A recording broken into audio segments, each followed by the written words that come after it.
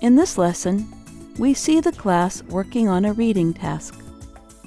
The homework for this class was for students to bring in pictures with examples of technology. They talk about them to prepare for the reading. Next, the teacher shows students how to make a graphic organizer to help them check their understanding of the reading. Good morning. Good morning. Today we are reading a story about technology. Talk about your pictures at your tables.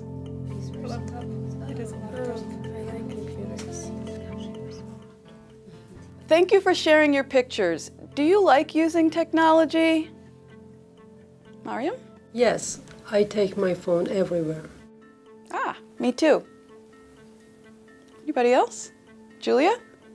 I love computers and I like to code. Some people do not have computers or internet. Vanuatu is a country in the South Pacific. Many people in Vanuatu do not have internet.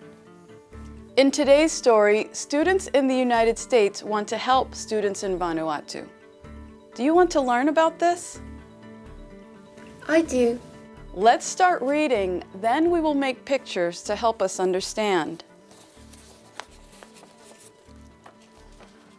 But first, let's look at the name of the story. Mimi, please read the name. Library in a Box helps students. Thanks. Now, Mariam, what do you see in the picture? I see a box. It looks like plastic. Yes, the library is in that box. How? Let's read the story, but first, let's learn some new words.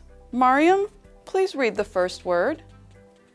Connect to join two or more things together. Good. Group reading. The students read the story aloud or silently in their groups. They learn that the Solar Spell machine holds information from the internet on memory cards. Any mobile device can connect to it without wires. Solar Spell gets its power from the sun. Let's make a picture to help us understand solar spell. First, I want to show the internet in a picture. Hmm, how can I do it? Show what's in it. Yes. And what can you find on the internet? What helps you learn? Mariam? Books. Good. So let's put that in our picture. Draw this on your paper. This goes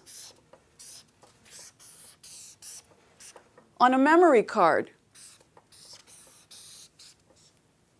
And where do they put the card? Mimi. They put the cards into the solar spell machine. Yes. Okay, now in your groups, keep going. What happens next? Draw more pictures. Should I draw some?